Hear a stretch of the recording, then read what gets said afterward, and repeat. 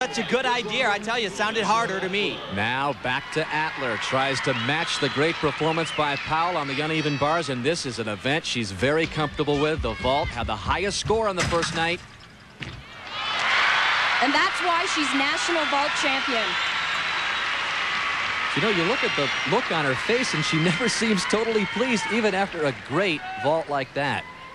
Now let's get you back to a replay of Mochi Atler after a great first vault. Tries to follow it up with vault number two. The score 955.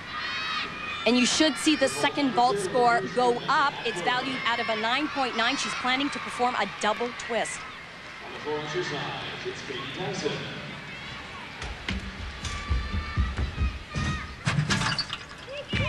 Oh, huge vault. Gigantic push off the horse, but actually so much power. Yeah, Steve definitely agreed. Yeah. It's okay. Okay. It was. It was a better ball, just so high and so powerful. She does take a bigger hop on the landing than she did in the first day, but what power this young lady has. Huge push off the horse. And what makes this so hard is those two twists that Elfi was talking about. Just too high on the landing and kind of boing in the air. this 15-year-old showing no signs of backing off.